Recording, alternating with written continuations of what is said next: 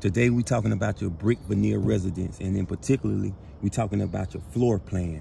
A floor plan is a plan view of a building that shows the arrangement of walls and partitions as they appear in an imaginary horizontal section taken approximately five feet above floor level.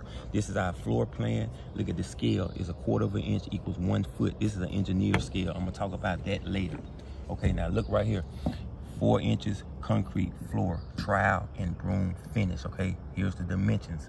Now, these squares are posts holding up our porch, ceiling or roof.